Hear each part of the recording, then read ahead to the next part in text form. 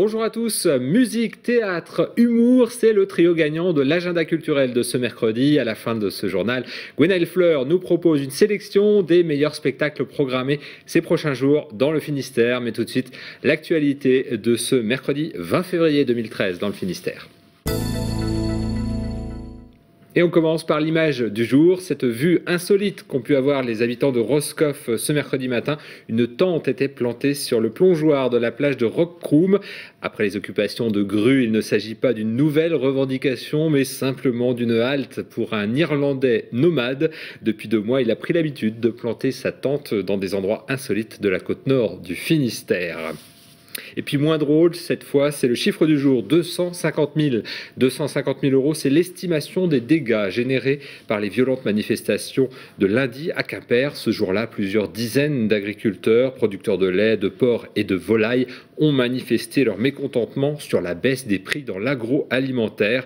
Ils ont investi le centre-ville de Quimper Plusieurs feux de signalisation ont été endommagés ainsi que du mobilier urbain. Le Conseil général et la ville de Quimper ont déposé plainte. À Carhaix, les gourmands font un véritable triomphe à la cantine des chefs. La recette euh, proposée de la cuisine traditionnelle à emporter ou à déguster sur place.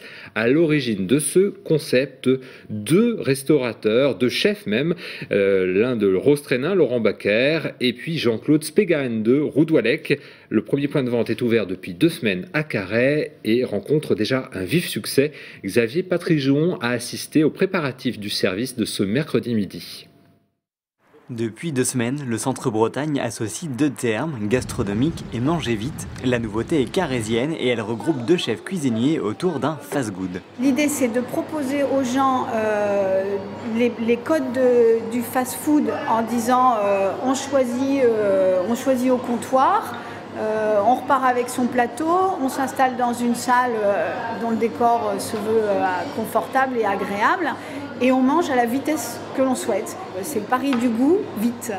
L'idée est simple, un peu inspirée de nos grands-mères, un panier, des bocaux, mais également une boutique de produits du quotidien locaux. C'est un espace où les gens euh, vont trouver les produits pour cuisiner chez eux rapidement et obtenir une cuisine de goût au quotidien.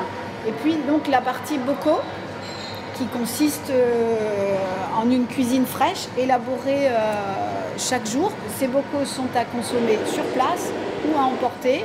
La cantine des chefs n'a bien sûr pas loupé l'occasion de s'installer à deux pas d'une biocop et juste en face d'une chaîne de fast-food bien connue. Et à première vue, cela fonctionne. Bah, comme me l'a répondu si bien un client il n'y a pas très longtemps, on s'est bien habitué à manger dans du carton. Au-delà du concept culinaire, c'est aussi un clin d'œil à l'entrepreneuriat en Centre-Bretagne. Euh, le Centre-Bretagne, ce n'est pas une réserve d'Indiens. Il peut aussi s'y passer des choses euh, novatrices, que les gens sont réceptifs euh, et qu'il faudrait juste qu'on soit un peu plus nombreux à croire à, ce genre de projet. Des projets justement, il n'en manque pas. Prochainement, une ouverture de ce fast-good est prévue à Quimper et manger vite deviendra un délice. Allez, on reste au rayon gastronomie avec les incroyables comestibles, un concept qui est né il y a une quinzaine d'années en Angleterre. Le principe est simple, créer un potager dans un espace public où chacun peut cultiver et récolter les légumes. Sophie Le Croisier a assisté aux premières plantations à Plomelin, près de Quimper. Qui veut semer des carottes chantonnaises? Séance de jardinage pas tout à fait comme les autres. Ce mercredi à Plomelin, les enfants du conseil municipal des jeunes plantent des incroyables comestibles. L'idée, c'est euh, de produire des, fruits et légumes en libre service euh, et euh, d'envisager de vivre autrement avec une nourriture qui est produite localement de manière éthique et solidaire. Cette démarche citoyenne a vu le jour en 2008 dans une ville du nord de l'Angleterre. Depuis, les petits espaces de nourriture à partager se développent aux quatre coins du monde. Il y en a aujourd'hui plus de 80 en France. C'est un mouvement qui vient du cœur, c'est un mouvement joyeux. Je suis fière parce que parce que c'est c'est bien, c'est c'est le partage, la solidarité. Le partage des connaissances, le partage de le partage de la terre, le partage des graines, tout ça c'est un c'est des, mots, forts pour, pour l'avenir. À Plomelin, les enfants ne s'arrêteront pas à ce premier jardin partagé. Ils comptent créer une route des légumes avec quatre circuits. Un souhait intégré dans les projets de la municipalité. C'est tout à fait en rapport avec euh, l'agenda 21 de la commune. Euh, en fait, on souhaite avoir des, futurs lotissements euh, qui intègrent davantage de mixité, de lien social. Et ça nous semble être une bonne façon d'y arriver. Chaque jour, trois nouveaux projets d'incroyables comestibles voient le jour en France et dans le monde. Comme chaque mercredi, Gwenaël Fleur est là pour vous proposer une sélection des meilleurs spectacles proposés dans le département. Gwenaël Fleur, bonjour. Bonjour Frédéric. Allez, il souffle un petit air du sud sur le département et particulièrement sur Brest ce jeudi avec la langue dossienne Olivia Ruiz. On l'appelle la piquante Miss Météor ou la douce femme chocolat comme on préfère en référence à ses deux précédents albums. Elle vient en effet promener son accent chantant sur la scène de la Carène ce jeudi 21 février. Après deux ans passés à voyager, elle a publié en décembre son quatrième album studio baptisé Le calme et la tempête. Il alterne les ambiances mélancoliques et les mélodies plus fougueuses. Bref, la chanteuse reste fidèle à cet univers singulier qui la caractérise depuis ses débuts. Et je vous propose, si vous voulez bien, d'écouter un petit extrait de My Lomo and Me, premier single de son dernier album. Je loue des chambres d'hôtel aux étages élevés. Je fixe les quelqu'un de ma fenêtre avant de les capturer. Je les habille de peut-être c'est l'attraction de l'esseler. Je photographie des gens heureux pour essayer de leur ressembler. J'admire cet éclat dans leurs yeux, l'étudie pour Et Gwen, ce jeudi, Oliver Ruiz pour avoir la rate de Brest. Ensoleillée, euh, on l'espère. sa fenêtre, puisqu'elle sera à la Carène à Brest. Gwen, un mot sur Idir. Oui, le chanteur Kabyle est en concert ce samedi à Brest au Macorlan et c'est complet. Il n'y aura pas de billetterie sur place. Dommage donc pour les retardataires. Allez, on passe sur les planches avec euh, de beaux rendez-vous de théâtre. Alors la comédienne Sarah Biasini, la fille de Romy Schneider, joue le rôle d'une femme dévorée par la passion amoureuse dans la pièce Lettre d'une inconnue.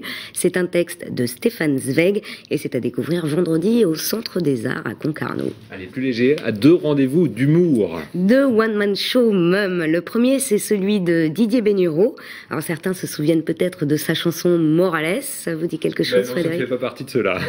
je ne vous la chanterai pas, je vous laisserai découvrir.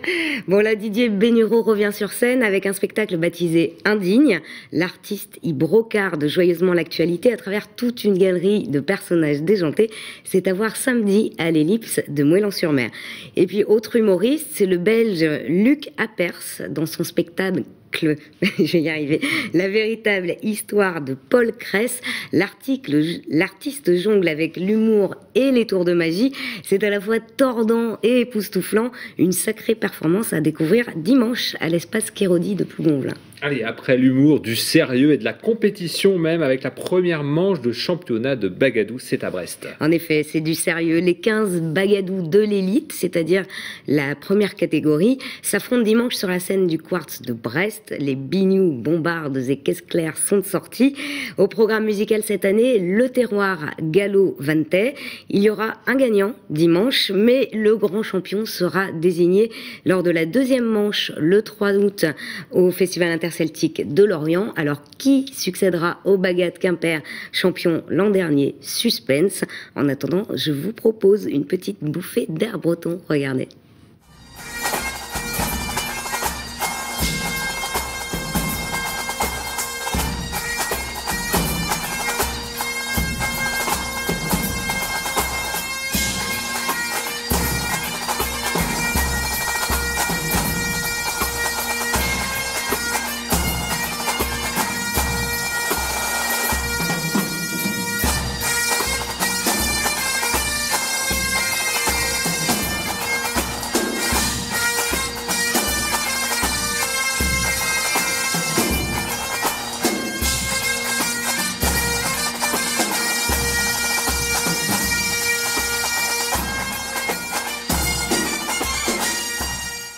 Première manche des championnats de Bagadou 2013, c'est donc dimanche à Brest au Quart. C'est 20 euros l'entrée. Et pour terminer, Gwen, signalons un tremplin rock ce samedi à Plougastel. C'est le tremplin des agités. Cinq groupes sont en compétition. Et en prime, le lauréat de l'an dernier jouera donc euh, sur scène également. Il s'agit du groupe Museau. Et tout ça est à découvrir dans l'émission Coin de Neuf ce jeudi à 18h30. Animé par Gwen Fleur, que vous retrouverez donc ce mercredi, ce jeudi, pardon, à 18h30. Merci beaucoup pour notre on se retrouve euh, demain à 18h15 pour un nouveau point sur l'information dans le département. Bonne soirée à vous, à demain. Merci.